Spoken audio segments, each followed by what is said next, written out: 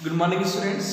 Today we are going to start the next form of your course and that is the Laburnum Top. The Laburnum Top written by Ted Hughes. In last class I sent you some of the notes. In the notes there was a description about the life of Ted Hughes also and about the poem also. What is the story of this poem? First of all I want to tell you what is the meaning of Laburnum. Actually Laburnum is a short tree which has hanging branches and yellow flowers and white yellow flowers yellow also and they are they have poisonous seeds also poisonous seeds. So what is the story of this poem in this poem we will see that the arrival of someone in our life how can it change our life completely? The arrival or departure in our life or from our life of someone how can it affect our life or how can it make our life beautiful? We will see in this poem so first there are two characters in this story. First characters means the symbols which have been taken from the nature. They are laburnum top. This is a kind of tree short tree which is hanging branches and poisonous seeds yellow flowers. Second is goldfinch. Who is goldfinch? It is a kind of bird which looks like indian sparrow goldfinch. So what does the author what does the poet tell us about the life of laburnum? The laburnum top is silent quite still still means silent without any movement in the afternoon yellow september sunlight. A few leaves yellowing all its seeds fallen. In the very first stanza we can see the poet is telling about the condition of laburnum tree laburnum in the month of september. What happens? How does the month of september affects laburnum?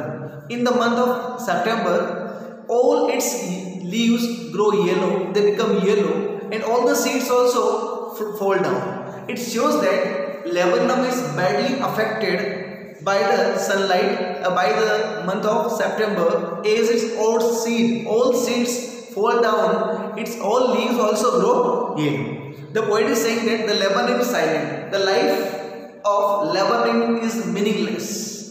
Laburnum is leading a monotonous life a boring life. And what happens in the month of September? All the leaves grow yellow and all the seeds fall down. It means this line is showing that in the month of autumn. Okay. What happens? Autumn has great effect or it badly affects Laburnum top. What happens now? Second stage. Till the goldfinch comes with a twitching chirrup. What is twitching? With a chirping. Twitching chirrup. Chirrup means chirping. And twitching means what is twitch? Twitch. Twitching twitching means sudden sudden chirp when goldfinch arrives when goldfinch arrives on laburnum top suddenly unexpectedly with chirpings twitching chirp means twitch means jerk? With a jerk with a jerk goldfinch comes there and start chirpings. a suddenness. Suddenness means she comes there suddenly a startlement. And give a great startlement a surprise to lebanon which was leading a boring life or monotonous life earlier. But after the arrival of goldfinch, it gets life and mortality. Immortality, it means new life, new meaning of life. Eat a branch end, then sleep as a lizard. Here in this line, the poet is uh, having a comparison of goldfinch with a lizard because they both are sleek. Sleek means they are very smooth alert they both are alert and abrupt abrupt means unexpected as we can see here a word is that's why the poetic device is simile s-i-m-i-l-e what is simile a poetic device where two things or two different things are compared with each others and it can be easily identified with two words they are as or like here goldfinch has been compared with a lizard do you know why because both are sleek both are smooth alert and abrupt means they come unexpectedly. She enters. Who here he she? She means goldfinch. After the arrival of goldfinch, the real the meaning of goldfinch life is changed completely. Earlier, which was leading a monotonous life, gets a new meaning of life and gets a new vitality, a new energy. She enters the thickness, goldfinch enters into the thickness, it means into the dense tree and a machine starts up. Do you know machine? Because of the chirpings, the chirpings of goldfinch has been Oh, or have been compared with the machine. Of chitterings, what is chitterings? Chirpings and tremor of wings. What is tremor? Great movement. She starts tremor of wings. It means she starts moving her wings and trillings. And trillings means a loud noise. A loud noise. Okay, trillings. Trilling means she starts moving her wings. That's why there is tremor, there is trembling, there is great sound. And trilling means fluttering also we can say like moving something heavy she starts moving her wings. She starts moving her wings. She starts uh, trilling and trembling also. It shows that goldfinch comes there with great chirrups and she starts moves her moving her wings. The whole tree trembles and after the arrival of goldfinch, the tree laburnum gets a new life. It starts trembling and thrills. It means it gets excited. Dear friends, the tree laburnum is thrilled. We can see here the whole tree trembles, starts trembling and thrills means gets excited. That is the example of personification. In this line, the whole tree trembles and thrills. That is the example of personification. It is the engine of our family. It is the engine of family. Do you know better students? Why does the poet compare laburnum with an engine? As we know, an engine requires fuel to start up. Like that, the chirpings, the twitterings of laburnum uh, also give a new life to laburnum. That's why, and they fill, they fill the tree with their chirpings. It looks as if an engine has been started. It is the engine of her family. It is the engine of her family she stocks it full. Stock means she fills it full, then floods out. Floods means jumps out to a branch end, then moving from one branch to another branch, showing her barred face. What is barred here? Having stripes on the face with identity mask. Students, you can be asked this question also. What do you mean by barred face? Your answer will be there are stripes on the face of goldfinch and it looks as if she has put on a mask because of stripes on her face.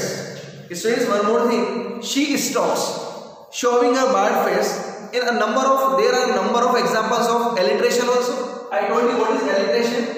Where there is a repetition of consonant sound is known as alliteration. Second is here we can simile as or like. Next a personification. Where is personification? The tree laburnum gets excited. Trees get excited by the after the arrival of goldfinch. Next is onomatopoeia. Onomatopoeia. What is onomatopoeia? The sounding word, the words. By the sound of those words, we can understand the meaning. These are called sound words and by the exact sound, we can understand the exact meaning of the words. Here chirpings, chitterings, twitterings, like buzz, hiss. These are the words or these are the sound words and that is the poetic device onomatopoeia. Onomatopoeia means the words or the sound of the word or sounding words which always shows the poetic device. What is onomatopoeia? It is a kind of figure of speech poetic device where the sound of the word tells exact meaning. Next, here last what happens? Then with airy, airy means surprising or mysterious, delicate means soft, whistle chirrup, whisperings is mutterings, she launches away, she flies away. This line is showing that Goldfinch spends her sun time standing at Laburnum. She fills it completely with the chirpings and she comes with her family members, with her young ones also and they fills it full completely with chirpings. It means the Laburnum which was leading a monotonous life now gets new energy and new life also. But after spending some time mysteriously, softly, with whistle, whistle chirrup means whenever she chirrups, na, whenever girlfriend chirrups, it looks as if she is whistling. And by creating chirping, which looks like, which seems like whistle, she launches away, she flies away from one place to another place. And what happens after the departure of goldfinch? The laburnum launches so it subsides empty. What is subsides? Remains. And after the departure of goldfinch, laburnum remains alone. Dear students, one more thing. What is poetic device here? Transferred epithet. What is transferred epithet? It is a poetic device which gives which give complete information about an event or like a incident or person also, but it is a different meaning from its real meaning. Okay, a poetic device where the real meaning is different from its, its exact meaning which has been shown in the poem. Okay, it, it is related to some new like it is can be a description, it can be an event also. What is transferred epithet? epithet? When the quality of one thing is transferred to another. When the quality of one thing is transferred to another. In the last line, we can see here in the line, her barred face. Her barred face. It means having stripes on her face. Her barred face. Do you know what? What is it? Her barred face. In these words, we can see there is poetic device transferred epithet. It means the quality of one thing has been transferred to another. As we know, Laburnum top has beautiful flowers and goldfinch comes there and she stands behind the flowers and because of the shadow of the flowers the shadow of the flowers fall on the face of Laburnum. It looks she has put on a mask. That is the meaning of barred face and which looks like a mask or we can say persona. I am telling you once again. Goldfinch comes and stands behind the flower of Laburnum. And as, we, as I told you, Laburnum has uh, yellow flowers also. And because of the flowers, because of the shade or shadow of the flowers which falls on Laburnum on Goldfinch, it looks as if she has she is wearing a mask or she has put on a mask. Okay, that is the example of transferred epithet where the quality of one thing is transferred to another. It can be event like description also, anything also, but the real meaning is different from the meaning which has been exposed to you. ये real meaning कुछ और है उस meaning से जो आपको दिखाया जा रहा है Okay students, I think you understand this poem. It has already been completed. I will send you all the questions and next class, next class we will come with next form or next chapter. Till then, thank you and stay safe. Thank you.